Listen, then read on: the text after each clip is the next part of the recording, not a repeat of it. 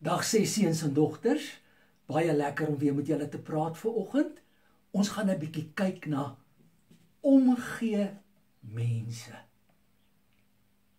Is jy 'n omgee mens? En wat beteken dit? Om dit beteken om in iemand of iets belang te stel. Om iets te versorg of iemand te versorg en te beskerm en te bewaar of veilig te hou en te respekteer en te waardeer.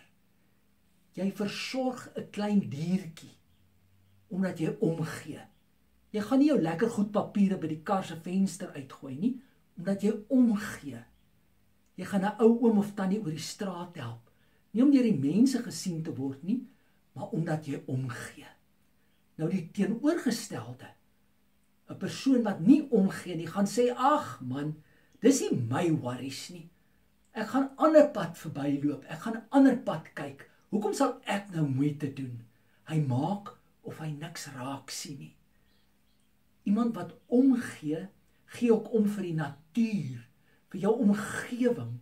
Jy gee om vir jou familie, vir jou vriende en vir jou diere. Jy is iemand op wie iemand anders kan staatmaak en kan vertrou. Onthou ouens, ons kan iemand of iets seermaak as ons nie omgee nie of benadeel. Ons spuit byvoorbeeld te veel gif op die plante, dan kan mense en diere siek word. Ons kap bome onnodig af. Ons maak die water vuil, ons besoedel dit. Ons maak dit onbruikbaar. Die oseane is vol plastiek, die visse en die diere gaan dood in die see. Nee ouens, Daai mense dink net aan hulle eie gemak, net wat hulle wil hê. Ons is eintlik selfsugtig as ons nie omgee nie. In 1 Korintiërs staan as een lid ly, dan ly al die lede saam. As een lid geëer word, dan's al die lede saam bly. Daar's baie verhale van mense wat omgegee het om ander te help. Ons dink aan Wolraad Woltemade, daai bekende storie wat 14 drenkelinge se lewe gered het uit die see uit. Sy perd se naam was Vonk. Hy het 7 keer in die see ingegaan om mense te red en na die 7de keer het hy sy eie lewe gegee. Hy's dood. Ons dink aan Rageltjie die beer wat in 'n sneeustorm vasgevang was en wat die muurshoop uitgehol het en haar boetie daarin gesit het, van haar eie warm klere uitgetrek het Sy het ook haar eie lewe gegee. Ouens, daar's baie mense wat in omgee werke is. Dokters gee om vir hulle pasiënte, verpleegsters, veeartse, brandweermanne en vroue. Jou familie gee om vir jou. Jou onderwysers gee om al voel dit nie partykeer so nie. Jou ouers sal enige tyd van die dag of nag help. Hulle sal hulle lewens gee vir jou. Jesus sê niemand het groter liefde as dit nie dat hy sy eie lewe vir sy vriende aflê. Julle is my vriende as julle doen wat ek julle beveel. En onthou, Jesus het sy eie lewe opgeoffer aan die kruis vir ons sondes. Die Here sê, ek sal jou nie in die steek laat nie. In Filippense staan, kyk na mekaar. Moenie kompeteer met mekaar nie. Dink aan jou naaste wat vir hom goed is en wat sy geloof sal opbou. Julle ken die storie van die barmhartige Samaritaan. Dit was 'n Joodse man wat op reis was van Jerusalem na Jerigo. Rowers het hom aangeval, sy goed gesteel en hom byna doodgeslaan en net daar langs die pad bly lê. Toe kom daar 'n Joodse priester verby.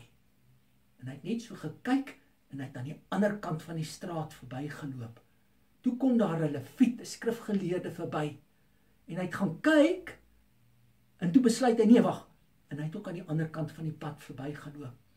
Toe kom daar 'n Samaritaan waarvan die Jode niks gehou het nie. Hulle was sommer sulke mense wat verstote is. En hy het die man innig jammer gekry. Die Bybel sê hy het gaan kniel by die man.